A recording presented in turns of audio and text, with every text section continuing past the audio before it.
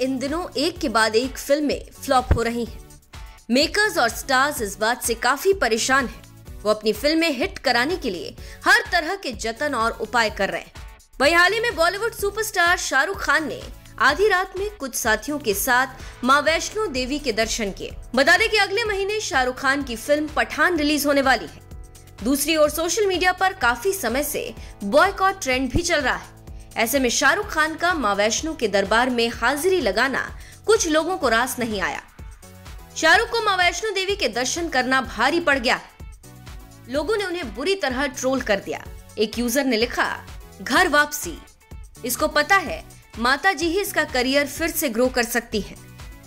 वहीं एक और यूज़र ने लिखा, क्या हाल बना दिया है पब्लिक ने इसका चार साल के बाद आ रहा है वो भी टाइगर सीरीज़ में उसके बाद भी पीआर चालू है इसके अलावा एक और यूज़र ने लिखा, इन लोगों को क्या पता नहीं क्या बनेगा ये फ़िल्म के लिए कुछ भी कर लेते हैं वही एक और यूज़र ने लिखा, LOL.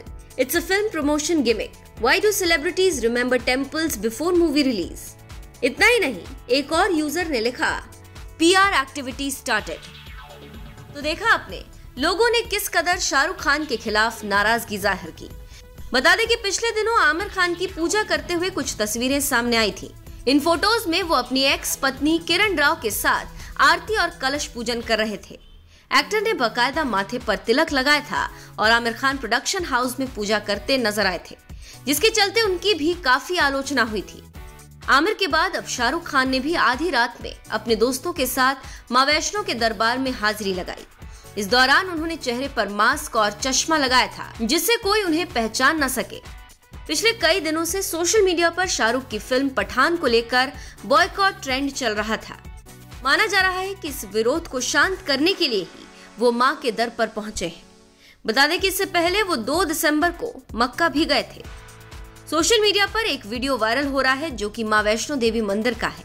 इस वीडियो में देखा जा सकता है कि शाहरुख खान ने काले रंग की हुडी पहनी है और उन्होंने अपना सिर ढका है। उनका चेहरा तो नज़र नहीं आ रहा, लेकिन एक्टर के साथ चल रही सिक्योरिटी की वजह से दावा किया जा रहा है कि वो शाहरुख खान ही है।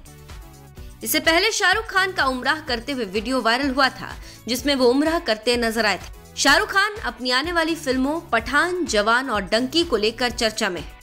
उन्होंने हाल ही में सऊदी अरब में फ़िल्म डंकी की शूटिंग खत्म की। उन्होंने खुद इस बात की जानकारी सोशल मीडिया के ज़रिए दी थी बताते चले कि पठान 25 जनवरी को रिलीज़ होगी। देखने वाली बात तो अब ये होगी कि पठान का बॉक्स ऑफ़िस पर क्या हाल होता है।